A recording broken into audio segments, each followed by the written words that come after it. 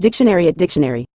In a general context, deform refers to the process of altering the shape, structure, or appearance of something in a way that deviates from its original or intended form. This alteration can be caused by various factors, such as physical forces, pressure, heat, or external influences. Deformation can result in changes that are either temporary or permanent, affecting the overall functionality or aesthetics of the object or entity being transformed.